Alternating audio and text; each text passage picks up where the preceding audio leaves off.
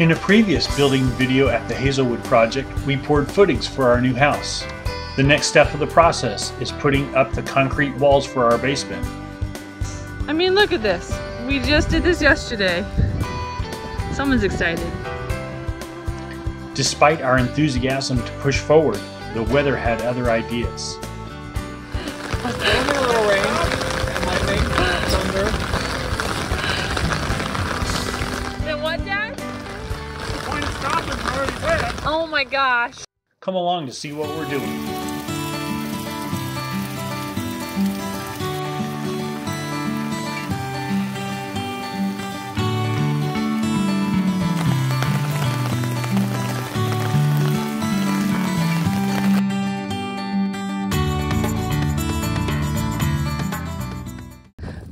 So all of this might look like junk, mainly because it's been sitting outside for a while. But this is actually ICF that we had from our property that we sold to mom and dad and they bought. So, so dad's actually able to start on his walls for his house a little early, even before he actually gets his shipment in because he had our leftover.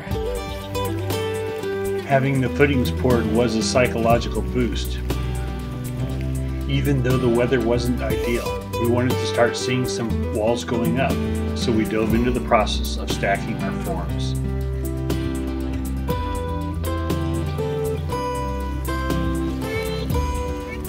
One load of many. So here's what I've been working on today. Just kind of setting some corners and uh, you can kind of see, uh, maybe you can see, there's a metal bracket down there at the bottom. It's actually nailed into the, the concrete. Gonna try to get down here on this next wall uh, tonight before um, I get out of here. The rain keeps uh, starting up and then tapering off and starting up and tapering off. So I don't know whether or not uh, it's to give me enough breaks to get in here and get it done. What are they doing out here still?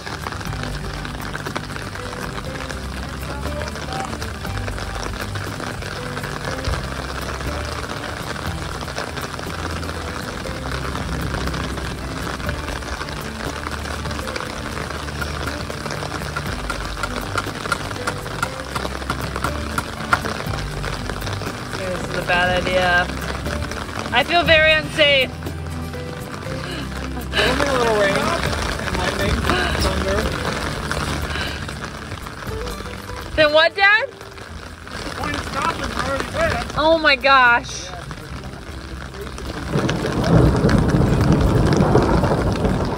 Well, common sense prevailed and we shut it down for the day. Next day we got back at it, stripping forms and getting ready to lay some more quad lock.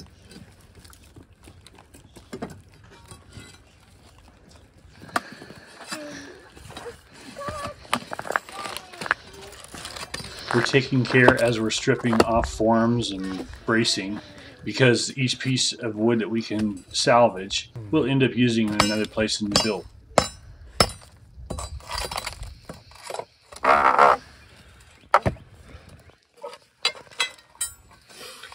Not very sexy clearing forms, just work.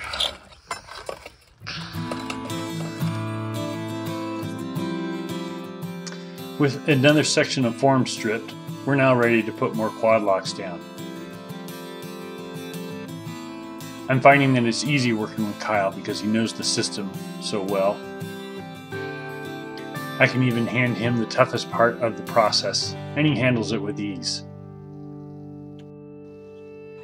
When you come to a corner, you have to think a little bit about how you're going to um, make the transition from your pattern to the right length of panel that you need going into the corner.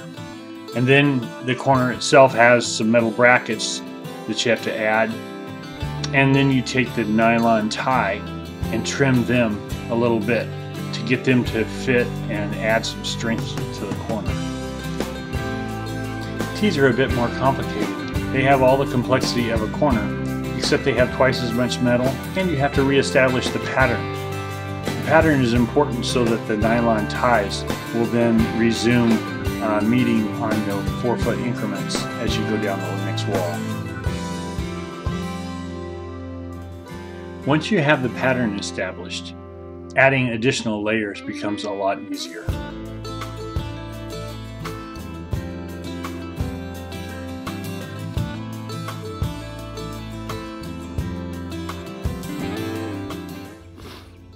During the morning here, I worked predominantly on this wall here that's the uh, north side of the house down into this corner. And then Kyle really focused on this T here, this intersection, where it goes into our first step. Did a great job and uh, looks like everything's working out good.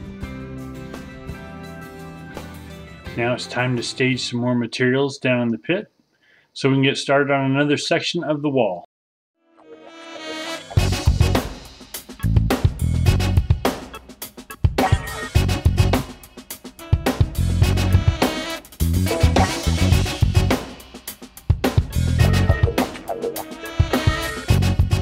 We received our order of quad locks from the manufacturer in Georgia just this past week. They're stacked up here. We're gonna uh, take them and uh, spot them around the foundation. As each course goes up, we'll go ahead and put a horizontal piece of rebar in there uh, to support that. Once the walls are stacked to the height we intend them to be, we'll cut the vertical rebar and slide them down into the channels.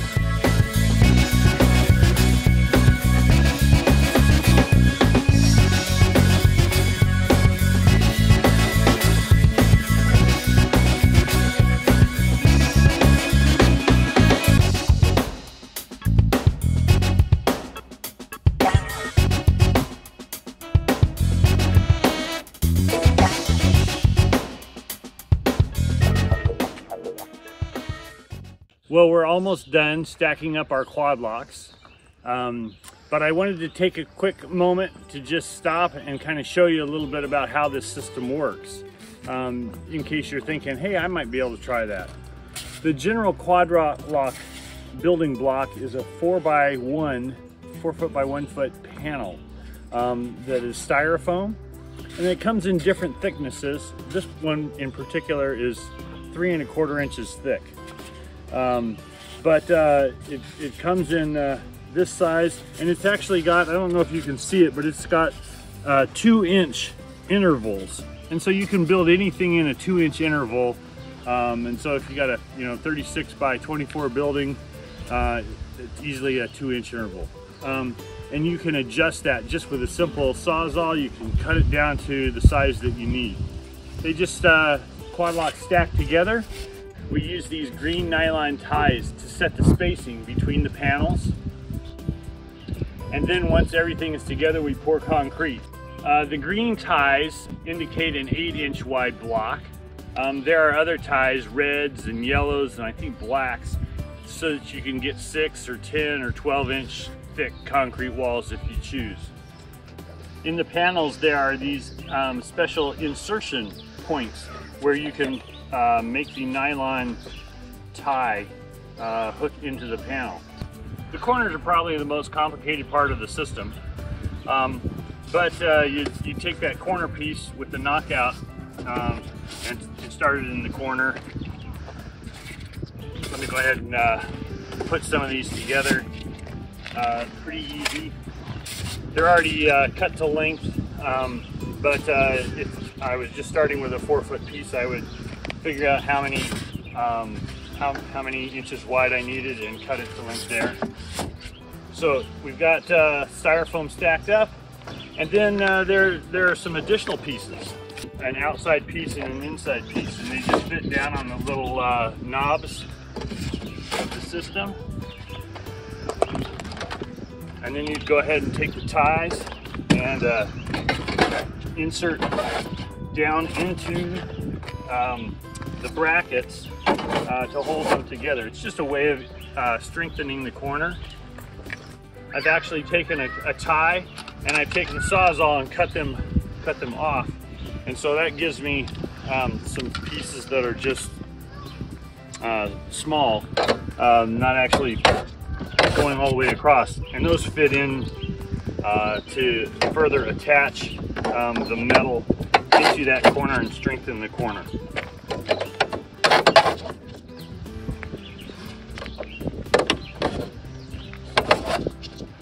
All right, and that's a corner. And then we'd, uh, we'd go along here and just continue to add uh, ties um, down the wall. One of the uh, things that you want to understand about this system is that uh, every time that you have a break in your panels, you want that the, the, the two panels coming together to actually break right um, at a tie. So in this case, I have a break right here panels. So I'm going to want to stitch those two together by putting a tie right there. And generally you'll put a tie every, um, every foot.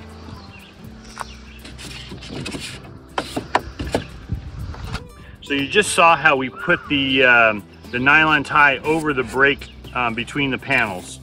And um, on uh, the next layer up, you want to make the break happen in a different place. So we'll want to actually stagger the seams so that they happen a foot or two foot down the wall. So as you look down into the cavity, this is what it looks like when it's all put together.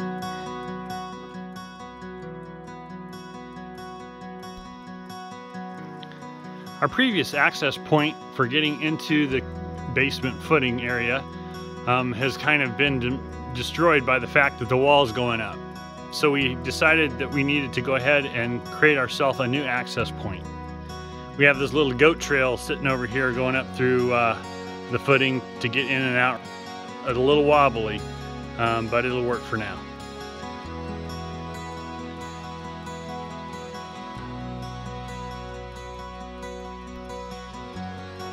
We've got all of the materials staged down here inside the basement footing areas. Um, so we know how much we have left to work with.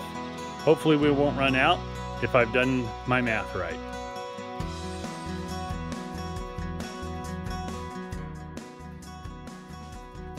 This is the fourth building that I'm using ICF forms on.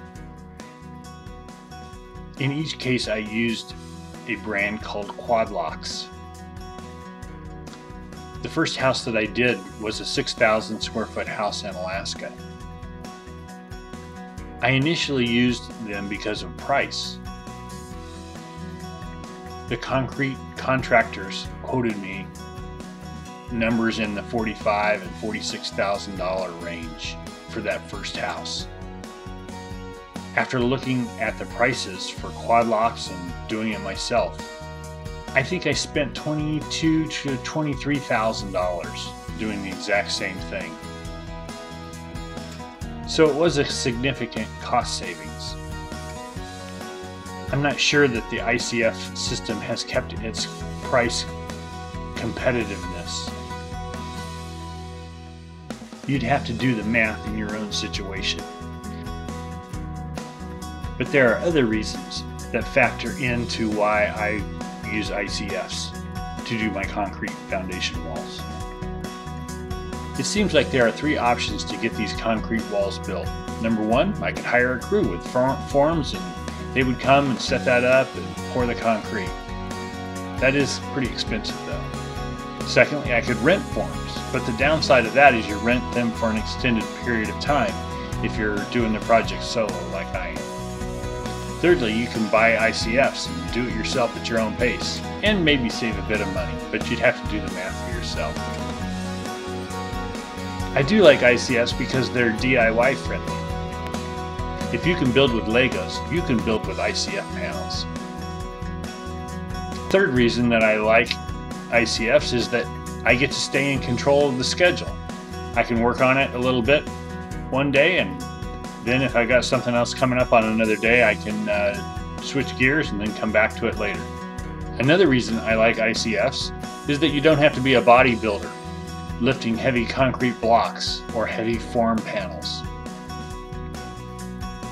Finally, I like the fact that I'm doing it and I can control the quality of the build. I can see um, how things are being put together.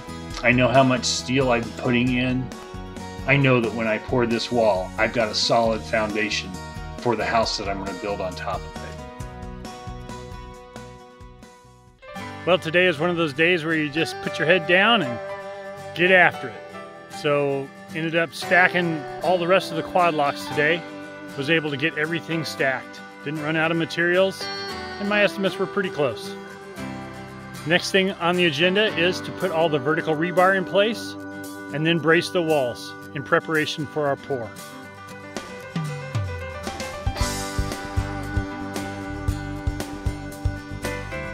Thanks for liking and subscribing.